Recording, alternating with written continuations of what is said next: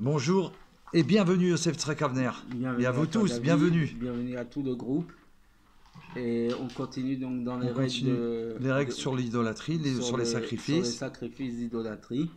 Et donc il te dit, celui qui coupe une- un membre d'un- corps vivant, alors Oui. que ce soit que, que la personne ou l'animal va mourir à cause de cette action ou pas, D'accord. D'accord Tant que c'est offert pour des idoles, si c'était la manière de servir cette idole en prenant des corps entiers ou des membres de corps, d'accord? Et donc euh, que ce soit la manière de lui offrir euh, des sacrifices, Oui. alors à ce moment-là, ça ressemblerait à un véritable sacrifice rituel, et là, il est condamnable. Il est condamné. Mais si ce n'est pas la forme de, de, de service de cette idole, il est pas tour.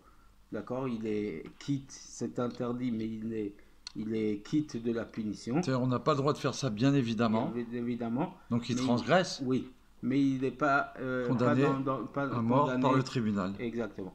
D'accord Et de même, celui qui, qui, qui donc euh, opère des membres, de, qui coupe des membres d'un animal après l'avoir sacrifié, il n'est pas tour, il est acquitté de la punition.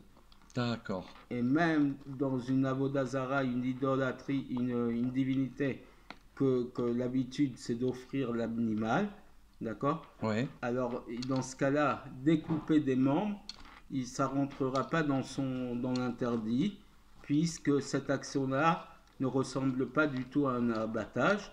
L'abattage, c'est de prendre par le cou ou par l'arrière, de, par le- la nuque, d'accord Et donc, Ouais. euh, euh, découper des morceaux, ça pas ne ça. rentre pas dans ce cadre-là. Et, donc, donc- dans ce cas-là, il est pas tour.